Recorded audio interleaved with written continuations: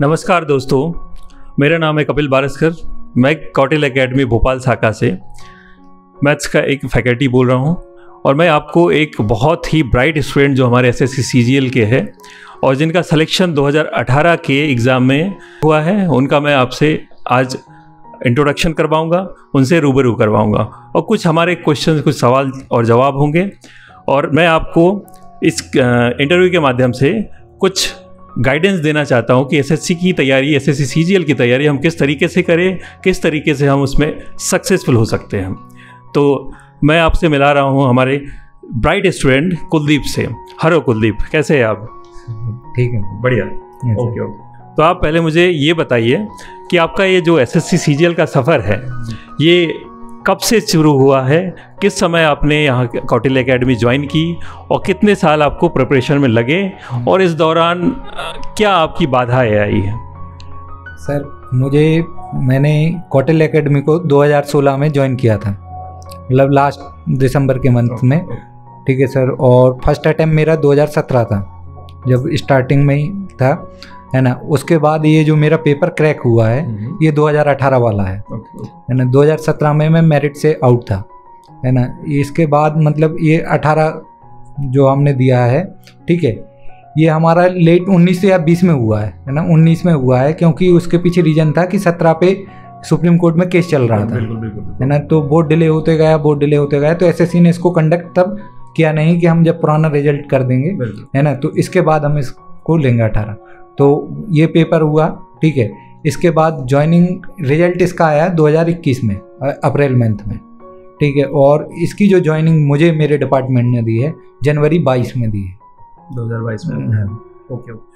तो इस दौरान जैसे आपने कौटिल एकेडमी में आपने एडमिशन लिया है और कितना पूरा अगर अपन टाइम पीरियड देखा जाए तो एसएससी की वजह से थोड़ा सा डिले हुआ। हाँ। बाकी आपको प्रिपरेशन में टोटल करीब एक साल का टाइम लगा। आपने दिसंबर, जैसे बताया आपने कि दिसंबर 2016 में ज्वाइन ज्वाइन किया था या फिर 2017 ही बोल सकते हैं आप उसको? और 2018 का आपने एग्ज़ाम क्रैक कर लिया। ठीक है तो इस दौरान आपको यहाँ संस्था से या फिर अपने घर से क्या चैलेंजेस हुए हैं, क्या सुविधाएँ मिली है, या क्या मदद मिली है? इसके बारे में बताइए।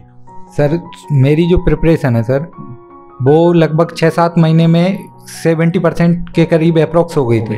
तभी हमारा मतलब 2017 में ये क्रैक हुआ प्री भी निकला मेंस भी निकला टीयर थ्री भी जो होता है इसमें ठीक है वो भी क्रैक हुआ है ना? फिर जाके लगभग फुल कंप्लीट माने तो एक साल का ड्यूरेशन लग गया होगा। हाँ प्रिपरेशन में लगा फिर इसको हमने 2018 का पेपर भी फिर डिले होते गया। हम्म। तो बीच में क्या होता है सर यदि कोई पेपर डिले हो जाता है तो स्टूडेंट्स में गैप आ जाता है। वो छोड़ देते हैं कि पता नहीं अभी हम्म। आगे क्या होगा क्या नहीं होगा कब हो रहा है कब नहीं हो रहा है। तो उस हिसाब से यदि कंटिन्यूस पढ़ाई इसके लिए एसएससी के लिए यदि सिक्स मंथ से लेके मतलब ट्वेल्थ मंथ के हाँ, बीच में है ना काफ़ी होती है। है ना कि इतना कोई भी मतलब एवरेज स्टूडेंट कर सकता है। है। ना कि मतलब ऐसा नहीं है कि आपको ज़्यादा टाइम लग रहा है या कुछ नहीं। है ना और इसमें चैलेंजेस सर यही रहे कि ये थोड़ा ही डिले रहा।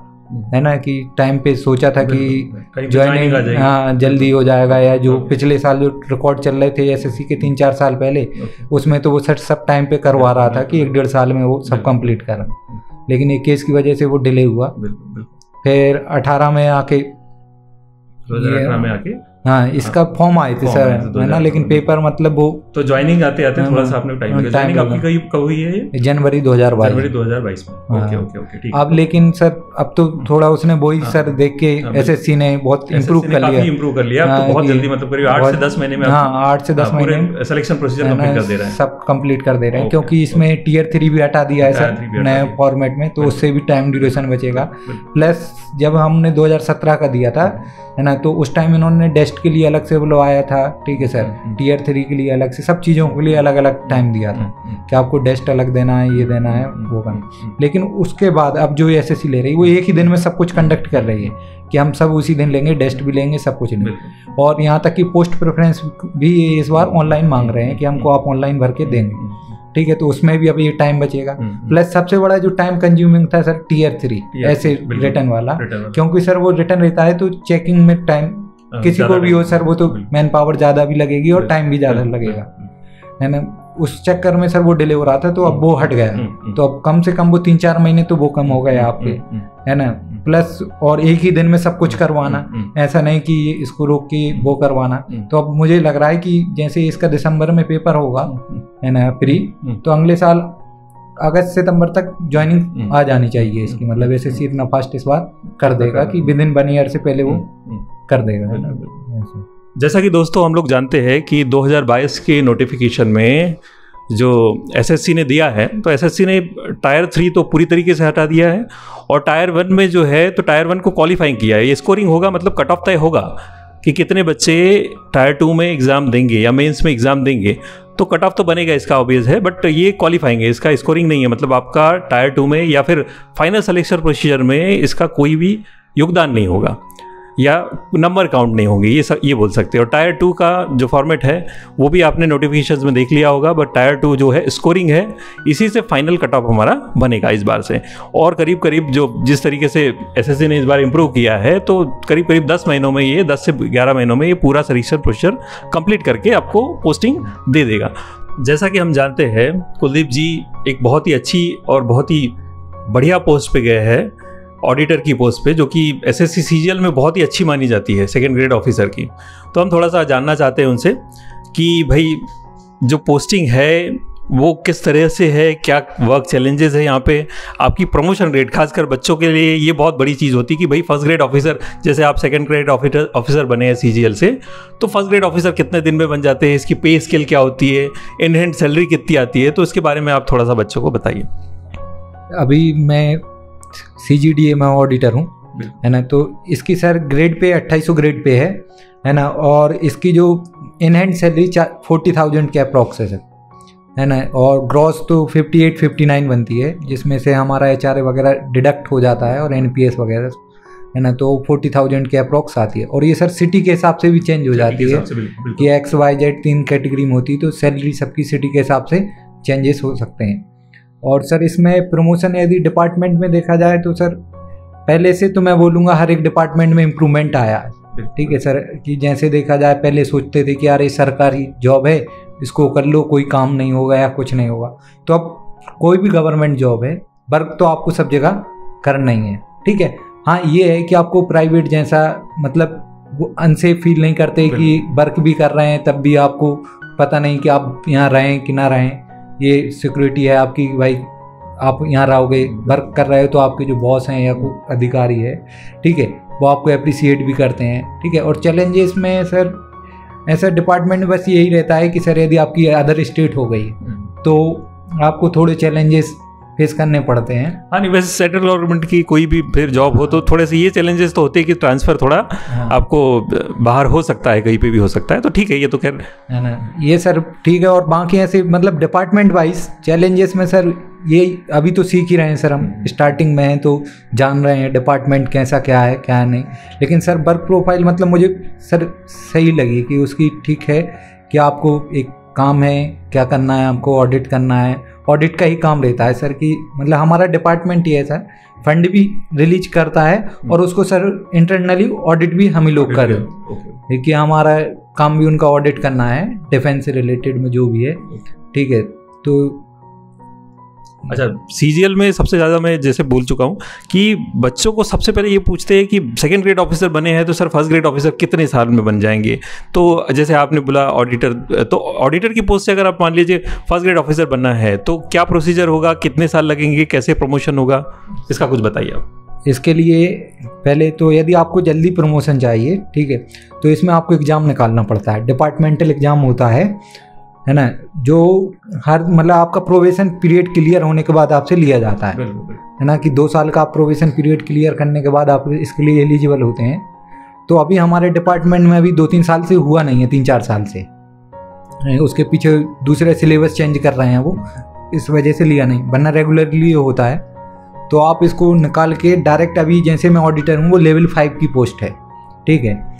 अब लेवल फाइव से आपको डायरेक्ट कहाँ पहुँचा देते हैं आपको लेवल एट पे। यदि वो एग्ज़ाम आपका क्लियर हुआ तो आप डायरेक्ट लेवल एट पे पहुँच जाएँगे जब। फिर उसके बाद ठीक है? तो लेवल एट जो है वो मतलब गैजेटेड पोस्ट है ग्रुप बी की है। ओके ओके ग्रुप बी की गजेटेड पोस्ट है लेवल एट ओके बिल्कुल बिल्कुल. उसके बाद आपको चार साल के बाद फिर उसमें आपको एग्ज़ाम निकालने की ज़रूरत नहीं है। आपका स्टार्टिंग में ही एक ही एग्ज़ाम होता है। फिर उसके चार साल बाद आपको चौवन सौ ग्रेड पे कर दिया जाता है। अड़तालीस सौ से आप अपने आप पहले चौवन सौ हो जाओ। ये चौवन सौ क्यों कर रहे हैं? पहले सर एक ऑडिट ऑफिसर होता था उसकी पोस्ट को इन्होंने हटा दिया है अभी। है ना? पहले वो सात आठ साल में प्रमोशन होता था तो इन्होंने वो प्रमोशन ना दे करके उसको फाइनेंशियली बेनिफिट पहुँचाने के लिए चार साल कर दिया है ना? लेकिन वो पोस्ट उन्होंने वो हटा दी कि आपको ऑडिट ऑफिसर मतलब हटा रहे हैं ये लोग। तो आप चार साल में चौवन सौ ग्रेड पे पहुँच जाते हैं। ठीक है? उसके बाद फिर आपको लगते हैं आठ साल या दस या मतलब वो डिपेंड करता है कि आपकी किस स्टेट में और कहाँ पे प्रमोशन है। कैटेगरी वाइज भी आपका प्रमोशन डिपेंड करता है कि आप किस कैटेगरी से बिलोंग करते हैं। थोड़ा जनरल वाले का लेट होता है प्रमोशन उनको थोड़ा टाइम लग जाता है। फिर सीनियर ऑडिटर और जनरली यदि मैं बोलूँ तो यदि कोई एज ए ऑडिटर सिलेक्ट हुआ है तो वो एसीडीए तक पहुँच जाता है रिटायरमेंट तक या डी सी डी ए तक पहुँच जाएगा। Assistant controller of defence account है ना? तो मतलब करीब आप ये करीब नौ साल में हम लोग चौवन सौ पे ग्रेड पे पहुँच सकते हाँ। हैं। पहुँच सकते हैं। चौवन सौ पे ग्रेड मतलब आप जानते हैं जैसे कि फ़र्स्ट ग्रेड ऑफिसर की पे ग्रेड होती है। हाँ। चौवन सौ पे ग्रेड। तो बिल्कुल बहुत ही अच्छा लगा आपसे बात करके इस बारे में। और आपने हमें हमारे स्टूडेंट्स को थोड़ा सा मोटिवेट किया और कुछ गाइडेंस दी कि प्रिपरेशन कैसे करना है। और ख़ासकर किस तरह की पोस्ट होती है और किस तरह से प्रमोशन होते हैं फ़र्स्ट ग्रेड ऑफिसर कितने दिनों में बन जाते हैं तो इसके लिए आपका बहुत बहुत धन्यवाद। अगला प्रश्न हम कुलदीप जी से ये पूछते हैं कि जो हमारे वर्तमान में विद्यार्थी है, जो एस एस सी की तैयारी कर रहे हैं और जो भविष्य में और बच्चे जो आने वाले हैं तो उनको क्या कहना चाहेंगे? उनको क्या मोटिवेशन देना चाहेंगे? या फिर किस तरह से प्रिपरेशन करें? या उनके क्या मैसेज देना चाहेंगे? आप बताइए। उनके लिए सर मैसेज यही है कि हार्ड वर्क ठीक है कंटिन्यूस ऐसा नहीं कि जो हमसे, सर, मेरे टाइम पे, मेरे से गलती क्या हुई थी, हम लोग गैप कर देते थे। हार्ड वर्किंग में कि जब पेपर आ गया, तब कर लिया और फिर पेपर गया तो छोड़ दिया। ये नहीं करना है, ठीक है, कि आपको कंटिन्यूस रखना है, ठीक है। आप ऐसा नहीं करना कि तीन महीने आपने बारह बारह घंटे या दस घंटे या आठ घंटे पढ़ लिया। कंटिन्यू आप चार घंटे पढ़िए, है ना? कंटिन्यूस रखेंगे तो उसमें आपका ज़्यादा फ़ायदा रहेगा। ठीक है और सबसे बड़ी बात ये रहा कि इस बार एसएससी ने जो न्यू स्टूडेंट हैं हम्म। ठीक है उनके लिए अच्छा मौका दिया है कि जो पुराने स्टूडेंट थे मान लो जो पुराने दो तीन साल से तैयारी करके बैठे हुए थे उनको भी उसी लेवल पे ला दिया है। कि सिलेबस चेंज करके उसका फॉर्मेट चेंज करके तो जो नए बच्चे आए हैं तो उनके लिए भी ये अच्छा मौका है। ये नहीं सोचना है कि भाई चार साल ले रही है एसएससी या पाँच साल। इस बार बहुत कुछ चेंज करा है एस ने तो आपके लिए अच्छा मौका है। बस कंटिन्यूटी आप बना के रखें। ध्यान रखना है कि बस आपको उसको गैप नहीं करना है किसी भी हालत में ठीक है? आप कम पढ़िए ठीक है? कि ऐसा नहीं कि आपको आठ घंटे ही पढ़ना है या दस घंटे ही पढ़ना है। एस एस सी इतनी वो नहीं है सर हम्म। कि आप चार घंटे या पाँच घंटे भी देंगे ना तीन से चार मंथ लेकिन बस कंटिन्यूस होना चाहिए। आपका कि कंटिन्यूस आपको एक वो बना के रखिए कि हमें इतना पढ़ना है और कंटिन्यूटी में। ये जो हम लोग करते थे सर हमारे टाइम पे कि जब पेपर आए तब तो लग गए सर। या पेपर मान लो चला गया वो पता चला नहीं हो रहा है सर कि उसमें सिलेक्शन नहीं होगा। तो हम उसमें गैप कर देते थे कि अब दोबारा आएगा तब करेंगे। और हो सकता है कि आपका फ़र्स्ट अटेम्प्ट में ना हो। सिलेक्शन पॉसिबिलिटीज है कि सर फॉर्म ज़्यादा डलते हैं और वैकेंसी कम है। लेकिन वहीं पे बोलते हैं कि यार हमारा नहीं हुआ। फिर गैप कर देते हैं कि अब अगली बार आएगा तब हम उसकी प्रिपेयर करेंगे। कि फिर से वही तीन महीने के टाइम तो उसको करना नहीं है। गैप आपको रखना नहीं है। ठीक है कंटिन्यू हाँ ये है कि आप जैसे पहले पेपर के टाइम आप छः घंटे दे रहे थे टाइमिंग आप उसको तीन घंटे या चार घंटे कर दीजिए। कम देने लगे लेकिन उसको छोड़ना नहीं है बीच में। कि आप बस सर यही है मेरा मैसेज सभी के स्टूडेंट्स के लिए। जैसा कि कुलदीप जी ने बताया कि कंसिस्टेंसी बहुत ज़्यादा ज़रूरी है आपको लगातार प्रयास करते रहना है। अगर आप एस एस की तैयारी कर रहे हैं तो आप उसको रेगुलर रखें और कोशिश करें कि जल्दी से जल्दी पहले प्रिपेयर हो जाए क्योंकि आप एग्ज़ाम जैसे बच्चे अपने जनरली ये करते हैं कि एग्ज़ाम आया तो प्रिपरेशन चालू करते हैं। वो नोटिफिकेशन तो इसलिए आता है कि आप प्रिपेयर जितने बच्चे हैं आप आ जाइए अब ठीक है? तो आपको पहले से प्रिपेयर होना है। और पहले से प्रिपरेशन रखे टायर वन की भी एक साथ रखे और साथ में टायर टू की भी रखे क्योंकि टायर टू में शायद एक या डेढ़ महीने का ये लोग हाँ गैप हाँ, देते जो कि बड़ा एग्ज़ाम टायर टू जैन मेन्स जो है बड़ा एग्ज़ाम है तो आपको इसकी पहले से प्रिपरेशन रखनी है कि हम छः महीने बच्चे प्रिपरेशन करते हैं प्री की और फिर डेढ़ महीना प्रिपरेशन करते हैं मेन्स की जो कि बिल्कुल भी सही नहीं है मेरे हिसाब से। मैं कुलदीप जी का बहुत बहुत धन्यवाद करना चाहूँगा कि उन्होंने अपना एक्सपीरियंस हम हमारे साथ हमारे कौटिल्य के बच्चे और जो भावी स्टूडेंट्स हैं, या फिर जो एस एस की तैयारी करना चाहते हैं, या कर रहे हैं, उनके साथ शेयर किया। उसके लिए मैं उनका बहुत बहुत आभारी हूँ, बहुत बहुत धन्यवाद करना चाहता हूँ। और मैं और करना चाहता हूँ कि जो बच्चे नए हैं जो हमारे चैनल पर पहली बार आए हैं, वो कृपया करके इसे सब्सक्राइब करें। हम लोग आगे भी इंस्पिरेशनल वीडियोज़ और लाते रहेंगे और आपको इंस्पायर करते रहेंगे। धन्यवाद।